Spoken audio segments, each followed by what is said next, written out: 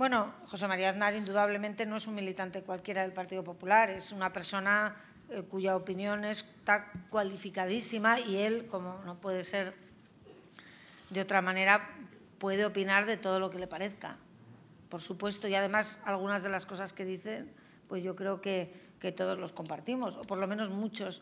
eh, compartimos una parte de lo que dice. A mí me parece, no obstante, que hacer un comunicado justo en el día en el que se reúne el Comité Ejecutivo Nacional, pues no parece lo más adecuado, porque yo, yo siempre he creído que los asuntos del partido hay que debatirlos en los órganos del partido, cuando afectan a comportamientos del partido, porque no es una declaración de la situación en general, sino es una, una crítica que, bienvenidas sean las críticas. Yo creo que las críticas siempre son buenas, siempre vengan de donde vengan y hay que aprender de ellas, pero entiendo que hay que hacerla dentro de los órganos del partido y sobre todo creo que en un momento como el actual,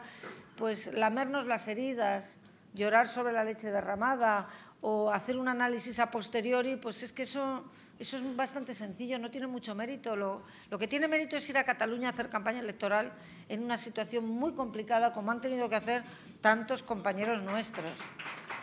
Eso sí que es difícil. Y lo que es difícil es pues, eh, ser eh, constructivo y avanzar en soluciones, más allá de criticar, que está bien y que creo que es necesario, pero creo que, que debemos de ser un poquito más constructivos y avanzar en positivo con soluciones.